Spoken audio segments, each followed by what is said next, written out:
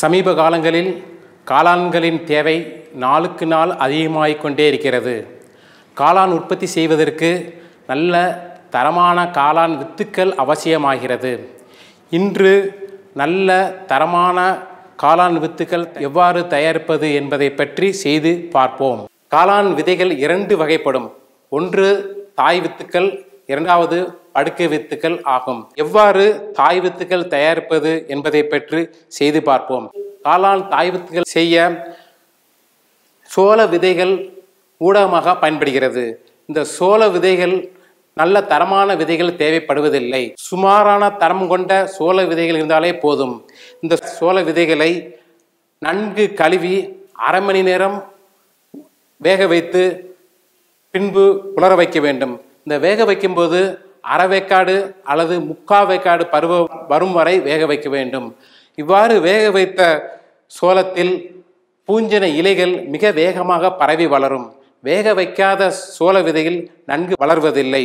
வேக வைத்த பின்பு இந்த சோள விதைகளை ஒரு மணி நேரம் உலர வைக்க வேண்டும். பின்பு இரண்டு சதவீத அளவில் கால்சியம் கார்பனேட்டை இந்த சோள விதையோடு நன்கு கலக்க வேண்டும். இந்த கால்சியம் கார்பனேட் ஆனது இந்த சோள விதையின் அமில காரத்தன்மையை நிலைநிறுத்துகிறது. அதாவது ஏழு புள்ளி ஐந்து அளவிற்கு நிலைநிறுத்துகிறது. வேக வைத்த சோளத்தின் அமில காரத்தன்மை ஆறு முதல் ஆறு புள்ளி ஐந்து அளவு வரை இருக்கும். இந்த ஆறு முதல் ஆறு புள்ளி ஐந்து அளவில் பூஞ்சனை இலைகள் மெதுவாக வளரும்.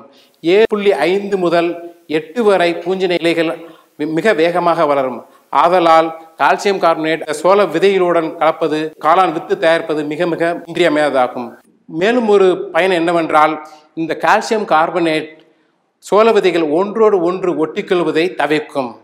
ஒரு மணி நேரம் உலர வைத்த சோள விதைகளை முந்நூறு கிராம் அளவில் பனிரெண்டுக்கு ஆறு சென்டிமீட்டர் அளவு கொண்ட பாலித்தீன் பைகளில் நிரப்ப வேண்டும். நிரப்பிய பிறகு பிவிசி வளையம் கொண்டு வாய்ப்பகுதியை அடைக்க வேண்டும். பிறகு தண்ணீர் புகாத காட்டன் பஞ்சு கொண்டு இந்த வாய்ப்பகுதியினை மூடிவிட வேண்டும்.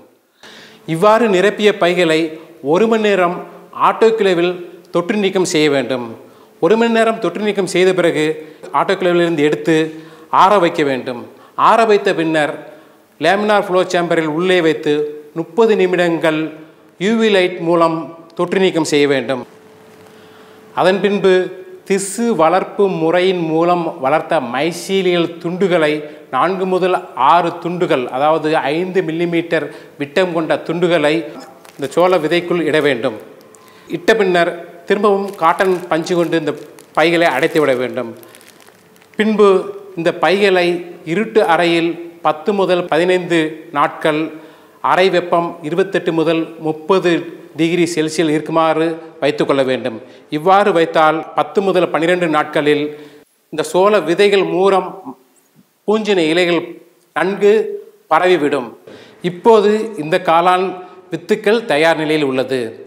இந்த காளான் வித்துக்களை முப்பது நாட்களுக்குள் உபயோகித்துக் கொள்ள வேண்டும். இந்த தாய் வித்துக்களை முப்பது நாட்களுக்குள் படுக்கை வித்து தயாரிக்க உபயோகித்து கொள்ள வேண்டும். தாய் வித்து தயாரிப்பது போன்றே படுக்கை வித்துகளும் தயாரிக்கப்படுகின்றன.